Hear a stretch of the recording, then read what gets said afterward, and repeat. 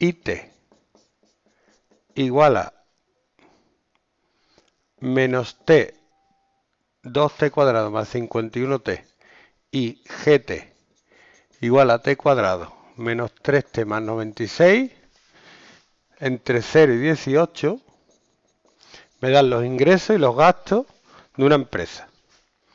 ¿Para qué valores de T desde su entrada en funcionamiento los ingresos coinciden con los gastos? Por la gloria de mi madre. Igualarla. Ahora, yo dejo el cero aquí. Lo paso positivo porque me resulta más cómodo.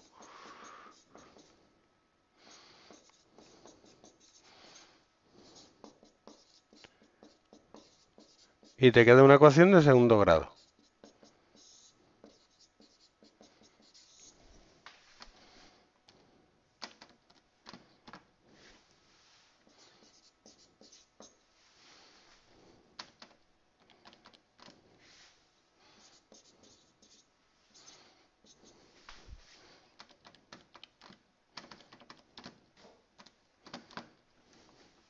Queda 54 más menos 42 partido 6.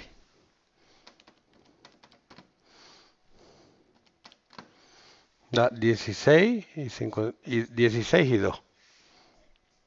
Fueron iguales los ingresos que los gastos. Determine la función que refleje los beneficios ingresos menos gastos y represéntela gráficamente. Los beneficios van a ser ingresos menos gasto. Sí. ¿Cómo lo represento gráficamente? Pues yo... Es una parábola, ¿lo veo, no? Es que... Vértice menos B El vértice es 9. La resolvería para ver dónde corta.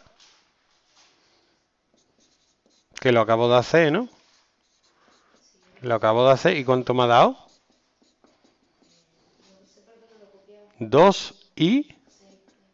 No. No te ha dado tiempo, ¿no? No me da tiempo, no me da tiempo. Ahora, cuando estamos por ahí, cuatro horas, ocho horas, eso sí da tiempo. Que no puede ser, yo. Es que la tenía que hacer tú más rápido que yo. Es como si fuéramos a correr y yo corriera más que tú. ¿Qué, qué estamos hablando? ¿Y yo? ¿Estamos locos? Tú tienes el cerebro at his prime.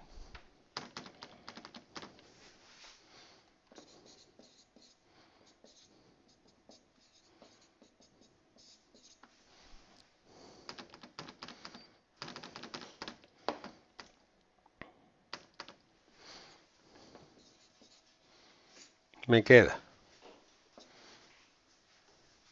Uno era 2 y el otro era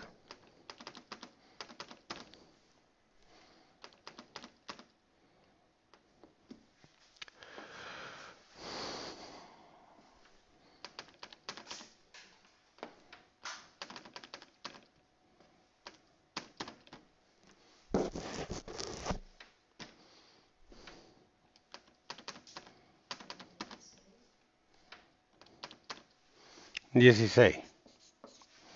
Así que la función es